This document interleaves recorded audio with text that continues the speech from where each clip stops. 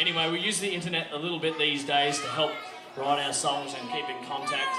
And Hamish emailed a bit of a fiddle lick, and we turned it into a tune. It's called Grasshound.